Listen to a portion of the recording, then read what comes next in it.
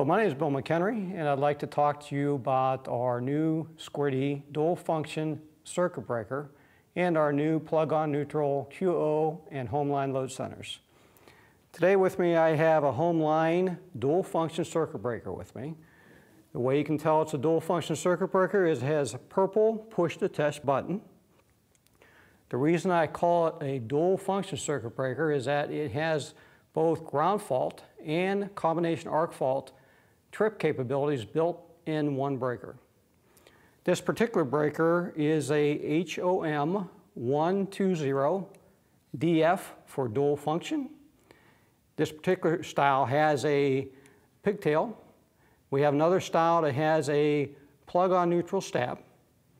We have these versions in both HomeLine and QO style breakers. The reason for the dual function breaker is the 2014 NEC code now requires that you protect laundry room and kitchens with both ground fault and combination arc fault. That is why we came out with this new style breaker. While I'm talking about circuit breakers, I'd like to talk about our time saver diagnostics. D has supply, been supplying time saver diagnostics in our ground fault and our CAFI breakers for the last couple years, and now our dual function breaker. So what's that mean to you as a contractor? It means that if you get called out on a troubleshooting call due to a trip breaker at one of your homeowners, and you arrive at the house and you find it's a Square D panel that's been installed in the last couple years, you open a door and you see it's a GFI or a CAFI breaker or a dual function breaker, you can now troubleshoot it by pushing down the push the test button, resetting the breaker, if the breaker trips instantaneously, the breaker tripped out on ground fault. If it tripped on two seconds or in two seconds, one Mississippi, two Mississippi trip, then the breaker tripped on combination arc fault. So you have an arc fault problem downline.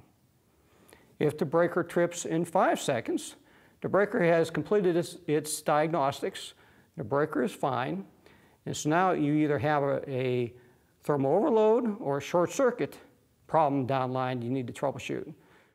Now I'm going to shift and talk to you about load centers. Square D came out with a brand new QO plug-on neutral load center two years ago. It has a neutral bus going all the way down both sides of the interior. And we also came out with new plug-on neutral breakers.